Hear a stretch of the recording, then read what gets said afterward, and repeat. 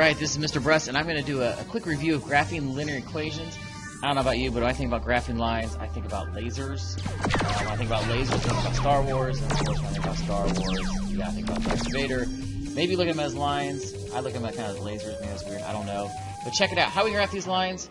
Boom, there it is right there. y equals mx plus b. So this whole section is a quick review of how do you graph a line uh, and what is slope intercept form. Let's do it. Here we go. So slope intercept form is y equals mx plus b. So where in the world did they come up with that crazy uh, name slope intercept form? Well, let's let's break this down. What is this m right here? This is the oh my gosh, handwriting's terrible. Let's try that again. This is the slope of the line right here. That is the slope of the line. And then what is the b term out here? This is the y-intercept. So write this down. This is huge. We got to have this. This is the y-intercept. And my handwriting is a little spotty today. Sorry about that. Uh, so we got that. So m is the slope. Sometimes it's called the rate of change, and I knew I was going to have struggle with handwriting, so I wrote that one out. Sometimes the y-intercept is called the initial value. So jot that all down. This is the whole section right here is mx plus b. We're going to use it forever. so we might as well get used to it. You're going to use it all this year, next year. It's just uh, it's just going to keep coming up and coming up. So m is the slope. Uh, what are x and y then? Well, these are just points. Remember when you plot points, it's x comma y. These are always changing, so we leave them uh, generically as x and y, like they're always changing. So um, those are the points on the line, so we leave them like that. So what are these lines usually look like? Well, they usually... Okay, so let's just get in there and graph some of these bad boys here. So when I'm going to graph one of these, remember this is that y equals mx plus b. They're all going to be in this form, and later on we'll mix it up, do some different forms. But they're all mx plus b. So what do we got going on here? Well, b in this case is what? It's the negative 4. So this is pretty great. You just put a dot there. Go to negative 4. This is the y-axis, remember? This is the x-axis. So on the y-axis, every single time you put this number, negative 4, count down 1, 2, 3, 4. There it is. Put a big fat dot. That's one of your dots. Now what are we going to do? We're going to do the slope. We're going to do the m, which in this case is 1 over 3. So in this case, it's 1 over 3. So there's a couple ways to think about slope. Slope is the rate of change is how I like to say it. Uh, it's also, when you're just graphing, it's your rise over your run. So it's how much do you rise up and how much do you run over. It's like how much do you rise in the y direction, how much do you run in the x direction. So what's our rise over run here? We're going to rise 1 and run 3. So I'm going to rise up 1, over 1, 2, 3, put another dot. Boom, there it is. I like to fill, and I want you to fill these papers up with as many dots as you can. So go up 1 over 3 again, put another dot, up 1 over 3 if you can, another dot, and you go the opposite direction. You could have went backwards instead of going up and right, you could go down and left. So we're making these nice straight lines here. Boom, just like that. And then you're going to draw a straight line in there. Woo, that's not too shabby for me. Uh, if you struggle, get a ruler or a straight edge, help you out there uh, with that line. Awesome. Let's try the next one. So I didn't give you this one in your notes. You have to actually write this down. Write this down. Don't leave this blank. This is the key. I want to see that equation. And let's do this one together. So if you need to pause me, pause me. That's cool. But I want to graph y equals 3 fifths x plus 1. So what is, where do you start? You start with a b. You start at 1. So put a dot here. And really to make a line, you only have to have two dots. So where's the next dot? We're going to rise 3, run 5. So always rise up 1, 2, 3, run 5, 1, 2, 3, 4, 5. And there it is. So that's great. You can draw a line. You're good to go. But if you can do that, I'd like you to go both directions. It'll just help out later on. So if you went up three, right five, do the opposite. Go down one, two, three, back one, two, three, four, five. Put a dot in there. Draw your line. Ooh, that's good. Just like that. Awesome. There we go. We're killing it. Killing it. Let's graph some more. So I'm going to throw a little variation at you, but that's the general idea is always the same here. So if I look at this, I say, okay, y equals mx plus b. I'll write that on here every single slide. It's so important. And where do I start? Where What is my b term in this case? Well, it's this negative 3. So go down 1, 2, 3, put a dot. There's your first dot. And wait a minute, not a fraction. Bummer. Well, really, everything is a fraction here. Everything is a fraction. What is it? It's Everything's divisible by 1. 2 over 1 is just 2. So write it as a fraction. What am I going to do? I'm going to rise 2, up 1, 2, and run 1 up 2 over 1. Boom. Up 2 over 1, up 2 over 1, up 2 over 1. And then do the opposite. Go down 2, back 1. Down 2, left 1. And now we've got all our dots on that. And there was my, whoa, gosh, that one got a little rough. Sorry about that. Straight line through there. So I'm looking for these dots. I'm grading the dots is what I'm going to see. Make sure they're in the right spot. Got to be in the right place. All right. Let's move it up to negative. So what did I do here? If you notice how this one different, I added a negative sign. So what is that going to do? Well, negative slope is going to go downhill. These have all like been going uphill from left to right. So let's graph it. Same thing. I still start at negative 1. Start that b term. So here's my starting point, my initial value. And what am I going to do from there? So negative 1 half, you can think of it as negative 1 over 2. You can think of negatives in front. Some people even think of it like this. They're all the same thing. I like to think of it as this one right here on top. So I'm always going to rise that negative. I'm going to rise down 1. So it's the same thing as out front, but it's really, I'm just going to put it with the top term, or you can put the bottom, but it's easier to rise down 1. So rise down 1, I'm going to go down 1, and I still go right every time, over 2. Down 1, over 2. Down 1, over 2. Down 1, over 2. And if I to keep that going the other way, I went down 1 over 2, I'm going to go up and back, up and back, just doing the opposite here. Up and back, and up and back. I got my dots, and this is always the exciting part. Can he draw a line through it? Woo! Okay, not too bad. Not too bad on that one. So negative lines always go downhill from left to right. Positive lines always go uphill. So I always double check. Positive slope, uphill, negative slope, downhill. Very nice. We got two more of these. So I'm not going to give you these two. Write down the equation. That's your job. Write them down. Pause it. Try graphing it. See how it goes. And then we'll put the answers up and see how you did. All right, did you get these lines here? So check out this one over here. Did you catch the negative? You're rising down four. One, two, three, four, over. One, two, three. That's that negative slope, and I started at two. Hopefully you caught the negative there. And again, double check it. Slope's negative, got to go downhill. This one I tried to trick you. You know, we're so used to this mx plus b, but I changed the order, didn't I? The m is the one with the x, so it has to have the variable x. So in this case, this is b, you can say minus mx or plus mx, however you want to do it. But that is the m right there. So notice I started at 3. This is the b, so the b term is 3. And the m term is this negative 4 thing here. So it's still mx plus b. It's just out of order, so write it in order. And again, not only do that, I threw something at you like 4 over 1 is the fraction. So you're going down 4 over 1. That was tricky. Um, but I just wanted to make be aware of that one. So if you didn't get it, change it right now. Make sure you got that. Uh, you'll see that again in the practice. We'll practice some of those. Excellent. That is graphing right there.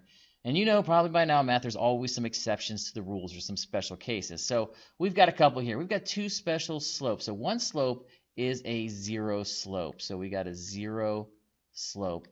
Uh, awesome. So there's our zero slope. And what does that look like? Well, imagine no slope, no positive or negative what's going on? It's just a flat line. So let's just do an example. How about this? This would be in a case y equals 4. Weird, huh? There's no slope in it. Why? There's no x in it, so I can't have a slope. Is there y-intercept? Sure, that's b. There's still y-intercept 1, 2, 3, 4. So go to your y-intercept, put a dot there, and imagine no slope. What if you don't change positive or negative? What do you do? You're a constant. You're a 0. You're Mr. Kelly, a 0. Oh, uh, boom. Just like this and that's kind of flat. It's a flat line. It's a horizon. Some people like to think of it as a horizontal line. I mean, it is a horizontal line. Horizon or horizon if you put a y in there, so you can remember it's that. So that is a zero slope. Technically speaking, it'd really be something like this: y equals 0x plus 4. But uh, we don't write that. That's why 0 times anything is 0. We write it like this. So if you ever see a y equals, it's a horizontal line. Awesome. So what is uh, probably the vertical line we're looking for? If that's a zero slope, the other one is actually we call undefined slope. So if you have an undefined slope, it doesn't exist. It's an undefined slope. Jot this bad boy down, and you may have guessed it. It's something like this. What about x equals uh, 3, let's say? That's what it's going to look like. So instead, this is weird. I don't have a y-intercept because you know, there's no b in this because y equals 4 over here. This is x equals 3. So you have to go, this is the only time uh, you'll have an x-intercept, 1, 2, 3. X is always 3 no matter what. x is always going to be 3. It's not a flat line here. It doesn't have zero slope. It's undefined slope. It's actually a vertical slope. It's straight up and down. You're thinking, why is that undefined? I can see it right there, Mr. Brust. Well, it's undefined because imagine rise over run. Let's say I'm rising up 1 and I'm running over 0. Well, can you divide by 0? No way. Cannot divide by 0. So that's impossible. So I can't rise up any number and then go over 0. So I've got something like this. Boom. There it is right there. So if you see x equals 3, it's going to be a vertical slope and a vertical line, and it's going to have an undefined slope. Awesome. Special cases. So if you can remember those two, you're golden. All right, now that we figured out how to graph some lines, let's write the equation of some lines. So what if I already have it graphed for you? Uh, can you tell me the equation? Well, sure. I know it's going to be, in this case, y equals mx plus b. This is our go-to. Y equals mx plus b. And let's plug them in. So we got to find the slope and the y-intercept. So I think it's easier to start with the b because I can look at it right here. Here's where it b. uh, it's 5. My b is 5. There it is. That's where it crosses. That's the y-intercept. And what's the slope of this line? Well, I got to count the slope here. So you got to find the next place it hits perfectly. Well, it hits perfectly uh, between the corners of the grids right here. Looks like it hits here. So you may have to throw some dots in here. And then just count it. How much am I rising and how much am I running? In this case, I'm rising down one, two, three. So I can say it's negative 3. And how much am I running? Over 1. So it looks just like this. y equals negative 3 over 1x. Or do we need that 1 on bottom? No, most people aren't going to write that. It's negative 3x plus 5. I'll count either one. They're both right, uh, but we won't put divide by 1 on there. Awesome. Very nice. So again, the next one, if you struggle with this at all, write out y equals mx plus b, and then find your two pieces. You just got to find the b and the m. So uh, let's do it. We're going to say, where's the start? Where's the y-intercept? It's at negative 1. So boom, negative 1. And this looks like it hits not all the way until up here, maybe back over here. So going left to right, I'm rising up 1, 2, 3, over 1, 2, 3, 4. So I'm looking at 3 fourths x uh, minus 1. That's your equation. There it is. And again, I'm going to give you more of these to practice. They're pretty fun. And I, I went ahead and threw a special case in there just to see if you could remember. Basically, it's going to be you're going to break it down to is this y equals 3 or x equals 3? Well, it's a vertical slope, and I always remember who does it touch? It touches the x-axis, so this is x equals 3. Let make sure you really realize that's an x. That's a big x right there. Equals 3. That's the equation of that line. It's a vertical line special case. So make sure you're cool with those. I got lots of practice for you. All right, let's put it all together here. So you may be asking, like, like why are we doing this? Uh, if not now, at some point in the year, I'm sure you will be. But we're going to use lines all the time. And I just, you got to be able to recognize that, hey, we're going to take these verbal expressions, we can make them equations, we can fill out tables, and a graph. It's all the same thing. So it's all just different ways to represent the same thing. So let's do this. Mr. Sullivan was kind of showing this in the last section. Bob has three cakes. He bakes five cakes. Not very. That should be every. Sorry about that. Every two hours. Uh, so can we write an equation? Sure, if we're writing equations, if we know it's a line, and this is a constant rate of change, so we know it's going to be a line, so we got this y equals mx plus b. Can you go ahead and fill that out? Sure. What does he start with? He starts with three cakes, so he has three cakes. And what is he doing from there? He's baking what? What's his rate of change? Five cakes every two hours. Boom. And x and y are our variables. They're going to change depending on what we're talking about. And we should probably define what x and y are. So what are x and y? What do they stand for? Well, anytime you can use time, time is usually your x. It's your independent. It kind of causes everything to happen. So this is your time. And what is it measured in? In this case, it is an hour. So we should label that. And then what is the y in this case? It is cakes. And that's just a number, uh, the number of cakes that Bob would have like that. Boom. So if we can take a verbal, write the equation, now you have options. I can fill in this table or I can go straight to the graph. Either way is cool. Let's go and fill in the table. What happens when you put 0 into this equation? Well, 0 times anything is 0. And we know this. Think about it in just a word problem. At times 0, how many cakes do you have? You have 3 cakes. How many in 4 hours? Well, maybe you could just keep the pattern going. Every 2 hour he bakes 5, so he'll have, what, 5 and then 2 more hours is 4, so that's 10 cakes. He'd have 13 cakes. Uh, negative 6, kind of weird. Does it make sense in this problem? No, it doesn't at all. Could we still find it? Sure, you could put negative 6 into the equation. You could say, hey, what happens when x is negative 6? And solve this. Negative 6, 5 halves, that's like 3, negative 3.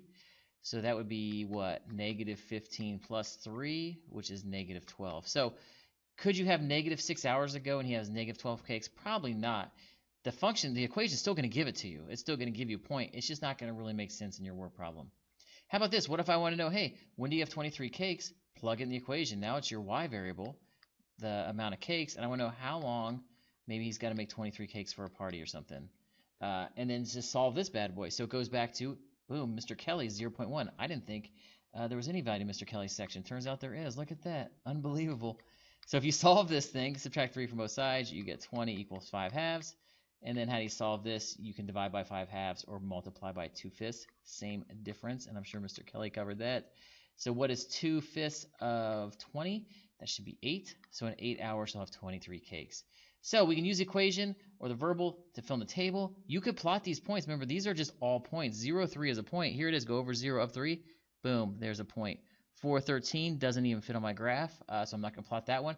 But I'll use this. Up 5 over 2, up 1, 2, 3, 4, 5 over 2. There you go. There's his cakes. You could even go negative 1, 2, 3, 4, 5 over 2. But are you going to need that? Nah, probably not. You only want this section. So a lot of times in word problems, you know, if this is time down here, we only want positive time. This is cakes, unless he's going to owe people cakes, which maybe he does. We usually look in this first quadrant here. This is where we usually uh, are taking our graph from. We don't care too much about the negatives, unless we're talking about money or things where you can have negatives in there. Awesome. That is it right there. So uh, practice these bad boys. If you're struggling after you've done the practice, do the correct assignment. Make sure you're good to go before the master check. Good luck on that master check. Peace.